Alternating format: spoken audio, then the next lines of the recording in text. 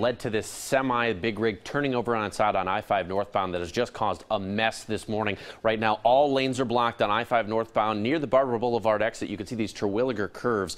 Where this crash happened, you can see it's a lot of bending for this big rig. I want to zoom out a little bit just so you can see how far this traffic is stretching back. This is pretty far back, almost to Taylor's Ferry Road right now. And until this road gets cleared, it's not going to get any better. I want to give us a real quick look at our ODOT camera right now. The semi is back up on its wheels, looks to be attached to the tow truck. Hopefully they'll be pulling it out soon, but it is still closed. And our Corlin, Cor Harlan has been out there this morning with a bird's eye view. Nobody's got a better look at this. Cor has been monitoring the progress. Cor, what have you seen over the last half hour?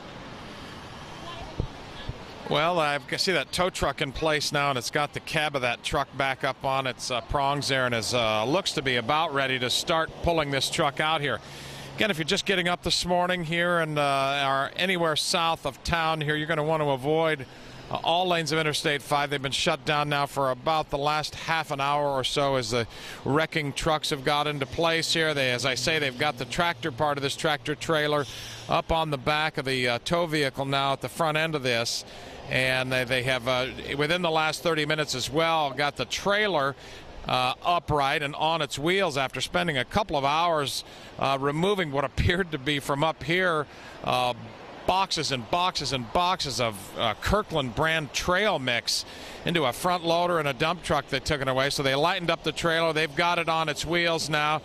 And uh, it appears as though that they are, uh, you know, getting ready and getting prepared to start towing this truck down the freeway and getting it out of harm's way. Again, if you're if you're south of town at all, anywhere in Tigard, Tualatin, Wilsonville, Lake Oswego, any of those places south of town, going to want to use an alternate route. Barbur Boulevard's a good bet. Macadam is a good bet if you're going to be coming up uh, into town this morning. As I mentioned earlier, you might want to try 217 uh, and use 26 to get into downtown, or even in some extreme cases, go over the Sellwood Bridge in southeast Portland to try to get to downtown because this has been a block here for about the last 30 to 45 minutes. It does appear that uh, getting this truck out of here is imminent at some point here, but we just don't know how long that's going to take or how long that's going to be. Uh, and miraculously, I'm told this morning, uh, ODOT is getting word to us that they know of no injuries that resulted as a result of this truck that went over. Again, this is in the northbound lanes of I-5, the furthest. Uh, there goes the truck right now. Actually, how about that? So you see that tow truck right there live. Follow that out there, Carl. Show the folks there the tow vehicle moving that truck down the road.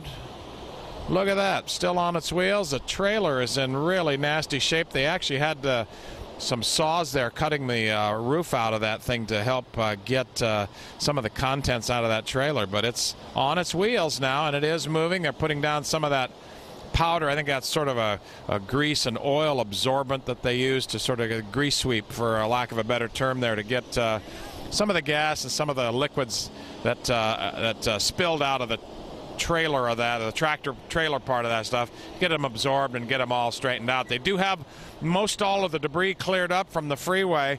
It's been a couple of hours that they've been doing this here, so actually that's a, that's kind of a surprise they moved that out of there so fast. They've just sort of pulled it off onto the shoulder just a little bit further north of here as they get uh, I-5 hopefully hopefully prepared here within the next couple of hours or next hour or so to get the freeway reopened and get things back to some semblance of normal here, Trevor and Eileen, this morning after a, a big rig again has gone over.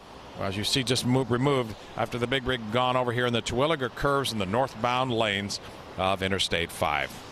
Trevor yeah. and Eileen. Corey, want to give some kudos to those ODOT crews because this is yes. in a terrible spot. And they kept that one lane open most of the morning. It hasn't even been closed for 45 minutes. They've already got the big rig out of the way. That's a great sign. Hopefully, they can get I-5 northbound yeah. open maybe within the next hour or so. We do appreciate.